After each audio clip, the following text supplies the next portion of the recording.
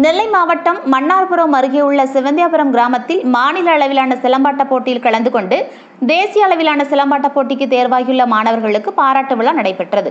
சங்கனாங்குளம் ஊராட்சி மன்ற தலைவர் சின்னத்தம்பி தலைமையில் ஊர் பொதுமக்கள் மற்றும் சிலம்பாட்ட ஆசான்கள் இப்பாராட்டு விழாவில் கலந்து கொண்டு தேசிய அளவிலான சிலம்பாட்ட போட்டிக்கு தேர்வாகியுள்ள மாணவர்களுக்கு மெடல்கள் வழங்கி பாராட்டுகளையும் வாழ்த்துக்களையும் தெரிவித்தனர்.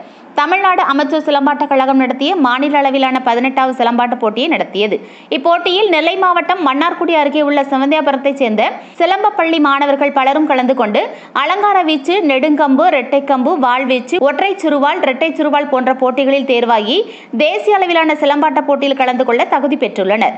தகுதி பெற்றுள்ள பதினோரு மாணவர்களையும் மற்றும் சிலம்பாட்ட போட்டியில் கலந்து கொண்ட அனைத்து மாணவ மாணவிகளையும் ஊர் பொதுமக்கள் பாராட்டினர்.